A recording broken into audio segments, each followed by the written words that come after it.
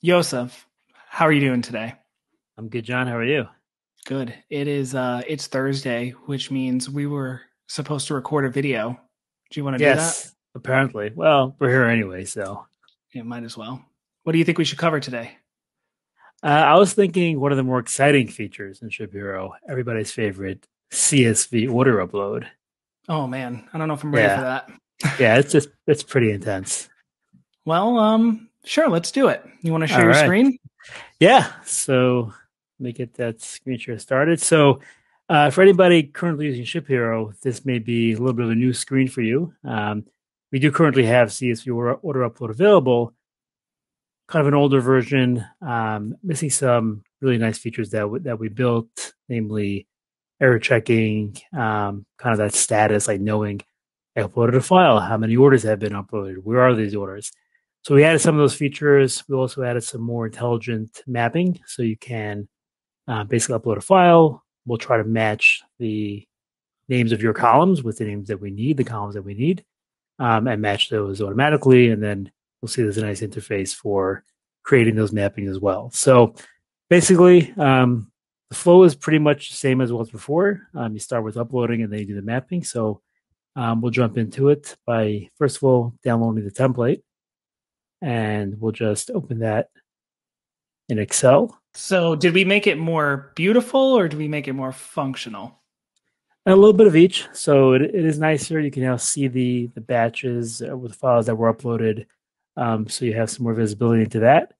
And then there is some more functionality as you'll see. So we downloaded our template. Um, you have all the columns here on top. Um, you can see that actually in the column names, we put what's required. So you can see address is the required column. So similar to what you had before, you have your order date fields. Um, let's just put in today's date so we can have that come up. And, you know, all, all the fields that you might need in an order. So you're used to those. You have a big screen. Why don't we zoom in a little bit so we can see some of those headers?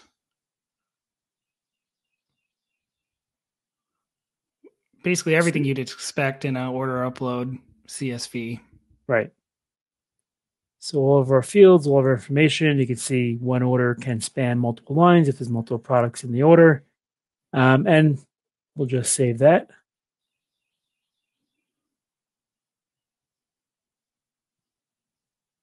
Gotta love Excel. Now that we have our template ready, we can upload it.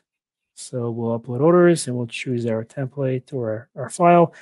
And as you can see, we've automatically matched the fields in the template with the, the fields uh, that we need in ShipHero. So all these have been matched. Um, that's because we used the ShipHero template, so we know they're the exact same. Um, but I can go through any of them and let's say I want to change the field that I'm using for address. So I'll click on that, choose a new one. We also show you a preview. So the first Oh, three that's nice. Yeah, so this way you can see, well, is that the right field? You know, maybe you by mistake put address on the SKU. So you'll see that right there. Um, and you just click on confirm mapping. If it's not a required field, so you can see the top of all the required ones. If it's not required, you can hit ignore column. So if you don't want to import that field, just hit ignore column and we'll ignore it on the import. So if, complete. if you download the the template like you just did, it automatically will map because we we know those fields. Right, Um, so someone doing this for the first time, if they download the template, it'll match those fields automatically. Mm-hmm. Cool. Yep. Otherwise, we'll be prompted to to match or to map the fields that that we uploaded. So you can see I uploaded my my file and there were some errors. So none of them were successful.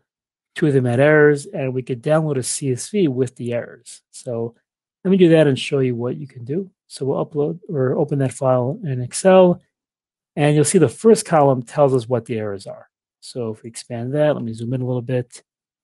So I had some sample SKUs. SKU one does not exist. So of the required fields, if there's any issues with that field, if it was empty, or in this case, a SKU doesn't exist, it'll tell us. So you might see, you know, address um, is required and, and it's empty, things like that.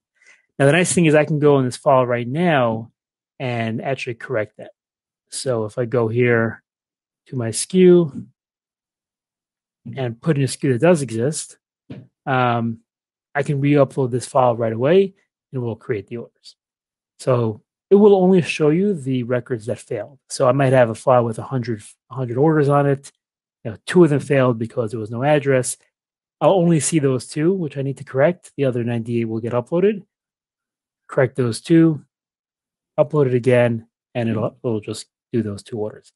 So that's, that's pretty big, cool. So yeah. so if you upload a hundred, if you're doing an upload with a hundred and two of them failed with an error, you don't mm-hmm. have to upload again. You can just do those those two that were the error. Just those two. Yes, you won't have to nice. upload all, all hundred again. You'll just be shown those um, those orders that failed. You can correct them, upload it again, and those two orders will uh, will be able um, we have an email notification for those too, right? Yeah, so there is an email. Uh, once the batch is finished, you'll get an email. It'll tell you how many were created and how many errors there were. Um, you could download it right from the email. A link to download the CSV with the errors, so you can do it directly from the email, or just do it here from the uh, from the CSV page. Nice. All right.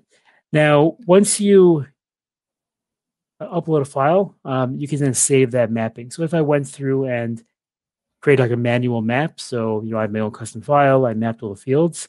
You can click on this map and save as a template.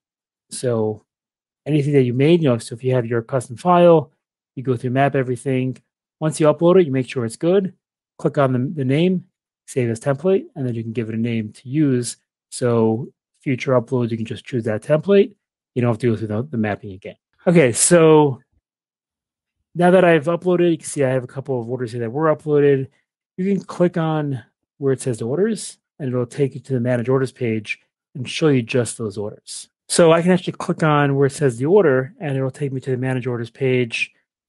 It'll filter by an order tag. Um, so it's going to find all the orders that have that tag. So if you actually go into the order, you can see we automatically add a tag that references the CSV.